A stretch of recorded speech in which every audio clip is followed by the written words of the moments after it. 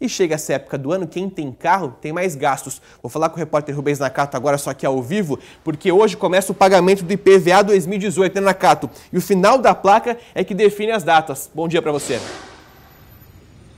É isso mesmo, viu, Casagrande? Bom dia a você, bom dia a todos.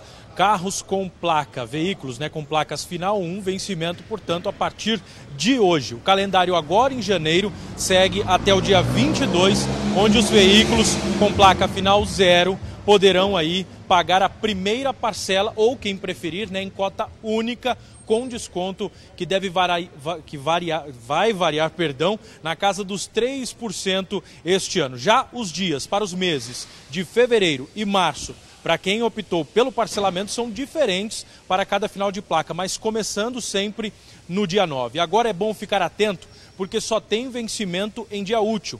Por isso, vale conferir no site da Secretaria da Fazenda a data que confere aí com o final da placa. E quem optar por parcelamento e perder, inclusive, a primeira parcela, não consegue mais dividir o valor, viu, Casagrande? Vai precisar pagar o IPVA integralmente. O imposto é cotado pelo valor venal do veículo, é, corresponde aí a 4% desse montante. E como a gente já mostrou aqui no SBT interior, este ano não vem mais aquela cartinha, né? Pelo correio como vinha até o ano passado, o que requer ainda mais atenção dos proprietários para não perderem aí os vencimentos. Casa Grande. Tá certo, Nakato. Obrigado pela participação por enquanto. Nakato volta ainda hoje com mais informações pra gente. Tem pessoal com dúvida em relação aos, pra, aos vencimentos né, das outras placas. Coloca pra gente aqui no telão. Final 1, como o Nakato falou, é hoje. Quem tem placa com final 2, vencimento é amanhã.